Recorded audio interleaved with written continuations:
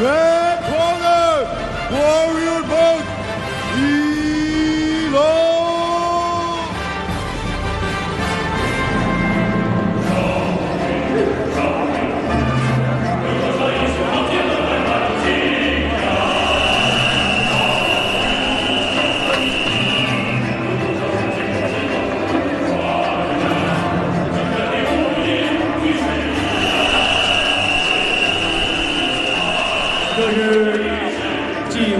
环球拳王争霸赛佛山站的比赛之后，武僧一龙的又一场比赛，中间间隔是四个月。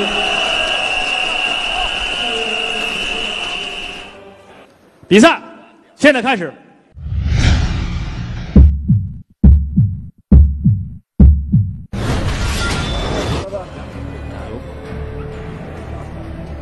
Your house, Judy.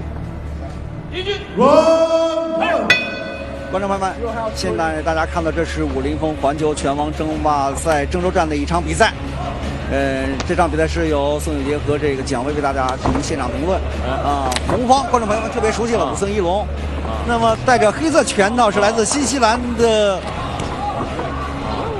乔丹泰。今天武僧一龙碰到这个乔丹泰是一场硬仗啊！为什么这样说呢？要知道，乔丹泰的这个朋友是布莱德，啊，布莱德曾经战胜过一龙，啊，但是一龙又复仇战胜过布莱德，对对吧？又复仇成功。复仇成功了。那这个乔丹泰呢，是一名职业的这种自由搏击拳手。在刚刚不久前呢，他这个在澳大利亚迎战了这个我们著名的自由搏击的世界冠军姜文霸。这招很绝，这是一龙那个杀手锏啊！现在这个武僧一龙有个低扫，这个力量很足啊。自从在佛山站战胜过这个布莱德复仇成功之后，他是闭门修炼，又练了一种绝活，这种低扫。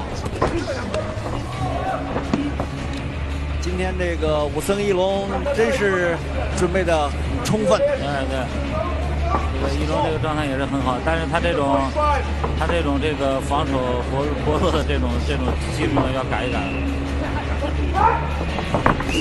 看，又来了，武僧一龙又来了。现在这个赵丹泰有点哟，今天这个武僧一龙这个地道太厉害，太凶狠了。凶狠之下还要凶悍，看又有戏法。啊，乔丹泰在想，怎么他今天的打法和对这个布莱德的招数完全不同了呢？要知道，他闭门修炼了几个月，今天出山有新招法了。武僧一龙今天不仅要和这个乔丹泰进行对垒，同时十一月十号他将第四次到美国对，拉斯维加。拉斯维加斯进行比赛。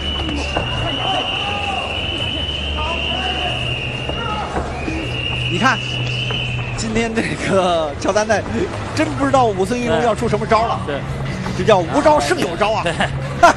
然后场上的这种比较这个出其不意的这种技术，也是非常让这个乔丹泰已经不知道怎么打了，不知道怎么打了。对，他说：“哎，这这么今天这个呃一龙怎么出这种招数？不是阴招，是杀手锏。要这样说啊！你看乔丹泰不敢进攻了。